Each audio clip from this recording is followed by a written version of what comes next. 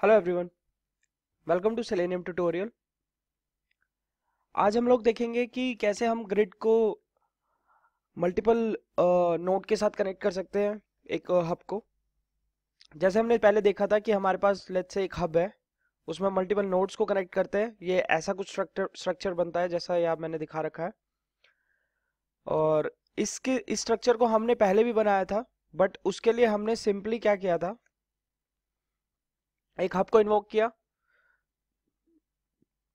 Default configuration के साथ।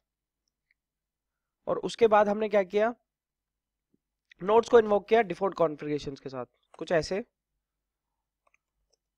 Java hyphen jar Selenium standalone role होगा इसका हब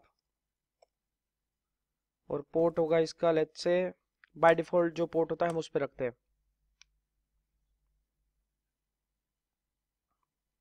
एक और कमांड प्रॉम्प्ट खोल लेते हैं तब तक।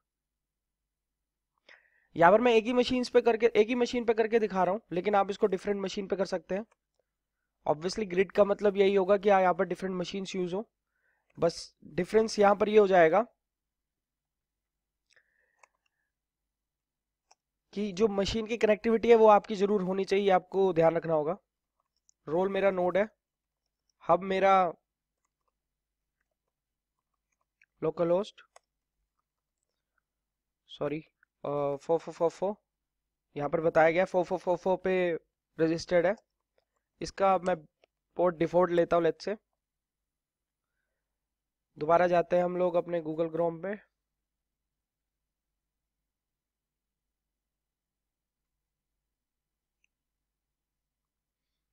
यहाँ पर हम देखेंगे कि कैसे गूगल क्रोम पे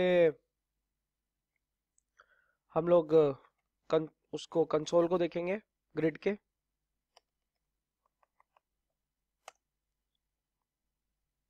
एक क्लाइंट हो गया मेरा डिफ़ॉल्ट कॉन्फ़िगरेशंस के साथ। ऐसे अगर मैंने जब दूसरा क्लाइंट किया था Java hyphen jar Selenium standalone jar role node hub H local host अभी लोकल होस्ट पे है, अगर आप जब ग्रिड यूज़ करेंगे डिफरेंट मशीन्स का तो आपको उस सिस्टम का आईपी देना पड़ेगा, उस मशीन का। तो यहाँ पर मेरे पास एक्सेप्शन आ गई कि जो डिफ़ॉल्ट पोर्ट है, वो हमने यहाँ नोड पे पहले यूज़ कर रखा था। तो हम यहाँ पर एक पोर्ट ऑप्शन देंगे 9999 लेट से अब ये दो क्लाइंट रजिस्टर हो गए। दोनों डबल फोर डबल फोर पे जो हब है, उसको उसको कनेक्ट कर रहे हैं। डबल फाइव डबल फाइव ये है। इसका पोर्ट है और डबल नाइन डबल नाइन इसका पोर्ट है। अब इसको मैं रिफ्रेश करता हूँ।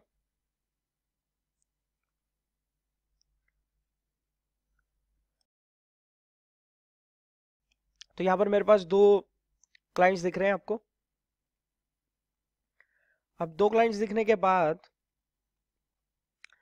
ये तो हमने डिफ़ॉल्ट कॉन्फ़िगरेशंस के साथ किया। लेट्स से मैं इसको स्टॉप करता हूँ हब को। हब को स्टॉप किया। तो ये विजिबल बंद हो जाएगा। अपने आप ही ये कनेक्ट नहीं होगा। इसको भी स्टॉप किया। सारे क्लाइंट्स भी स्टॉप कर दिए मैंने हब के साथ साथ तो ये कनेक्ट नहीं हो रहा। अब मैं क्या कर रहा हूँ? मेरा रोल हब इसका है। मेरे पास एक जेसन फ़ाइल है। वो JSON file hub dot JSON है। होस्ट में लोकल होस्ट ले रहा हूँ। पोर्ट मेरा बाय डिफ़ॉल्ट उठाया। टाइम आउट कितना होना चाहिए? कोई सर्वलेट है? प्राइटाइज कर रहे हैं? कैपेबिलिटी मैचर इसमें हमने एक यूरल दिया है। बेसिकली क्लास फ़ाइल दी है। यहाँ पर प्रेजेंट है या नहीं है? नोट कितने टाइम में पोल करना चाहिए? कितने टाइम में क्लीन अप होना चाहिए? मिली सेकेंड्स में वैल्यू है। टाइम आउट कितने मिली सेकेंड में होना चाहिए? Browser time out maximum sessions कितने अलाउड है? ये सब कुछ हमने दिया। तो अब मैं इसको ऑप्शन दूँगा हब कॉन्फ़िग और हब डॉट जेसोन फ़ाइल को एग्जीक्यूट कराऊँगा। तो मेरा सिलेनियम ग्रिड अप हो गया। तो यहाँ पर मेरी कॉन्फ़िग चेंज हो गई। जो कॉन्फ़िग मैंने हब में दी है वो ये है। सॉरी जेसोन फ़ाइल में दी है। हब के लिए वो ये है। जबकि पहले वो डिफ़ॉल्ट कॉन्फ़िग उठा रहा था। तो एक नोड को मैं बिना जेसोन फ़ाइल के इन्वोक करवाता हूँ। इसको रिफ्रेश करेंगे। तो मेरे पास ये वैल्यूज़ आ गई वापस से। इसकी कॉन्फ़िगरेशन डिफ़ॉल्ट ही है। तो ये टाइम आउट पोर्ट ये है डिफ़ॉल्ट टाइम आउट ये है क्लीन अप साइकिल इतनी है। तो ये सब डिफ़ॉल्ट वैल्यूज़ आ गई। लेकिन इसको मैं, इसकी नॉट कॉन्फ़िग एक नॉट डॉट जेसोन फ़ाइल से उठाता हूँ। इसको रिफ्रेश करेंगे।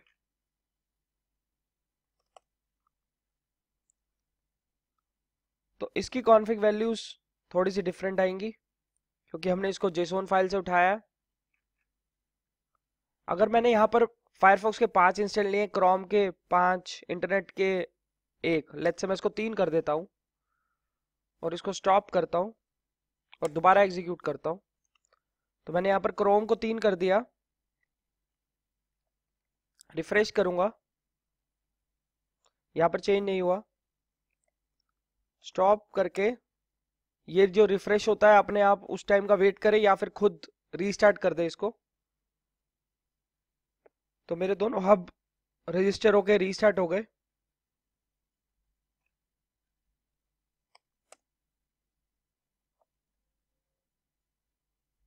तो जैसे ही मैंने रिफ्रेश किया रीस्टार्ट करने के बाद तो मेरे क्रोम जो है, वो तीन हो गए, क्योंकि मैंने यहाँ पर जो इंस्टेंस बोले थे, वो तीन बोले थे।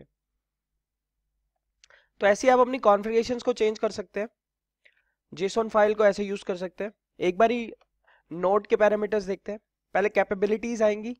यहाँ पर आप अपने प्लेटफॉर्म्स की डिटेल देते हैं या ब्राउजर्स इन सब की डिटेल दे रहे हैं। साथ में सिलेनियम प्रोटोकॉल वेब ड्राइवर है। एक आरसी होता है और एक वेब ड्राइवर होता है सिलेनियम में। हम यहाँ पर सिर्फ़ वेब ड्राइवर की बात कर रहे हैं। तो यहाँ पर मेरी वही सेम प्रॉक्सी है,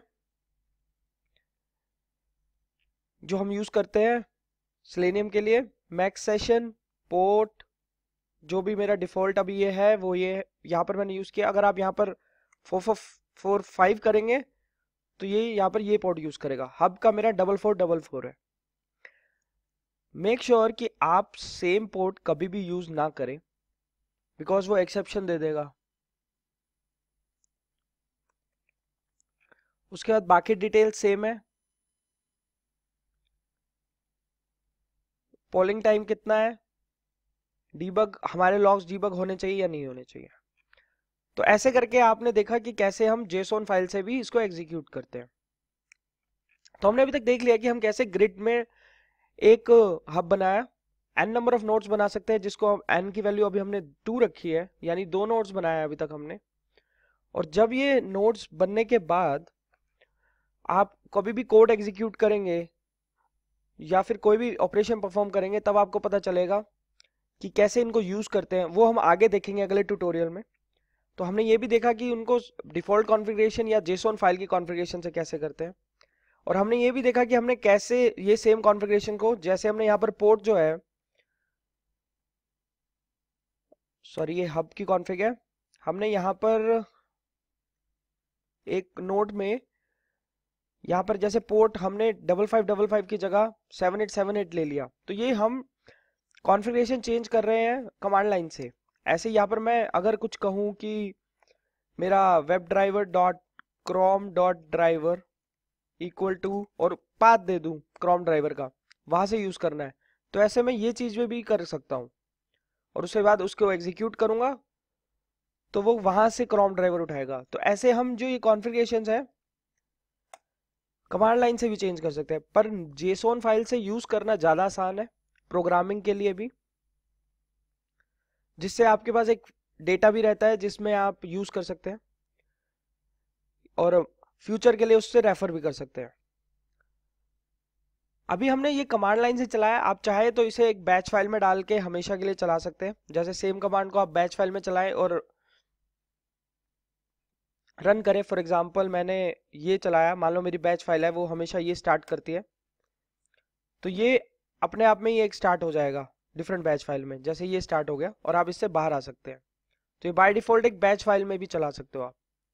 सेम कमांड को स्टार्ट क्या करता है कि डिफरेंट कमांड प्रॉम्प्ट में इन्वोक करता है। तो ये एक तरीके से आप अपनी बैच फ़ाइल से चलाया और आपने एक डिफरेंट कमांड प्रॉम्प्ट में इन्वोक कर दिया या सेम कमांड प्रॉम्प्ट में इन्वोक कर दिया और उसे अपनी मशीन में हमेशा के लिए चलने देंगे। तो ऐसे भी हो सकता है।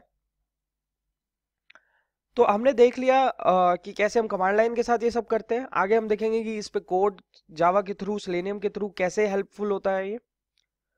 तो अभी के लिए इतना ही। Thank you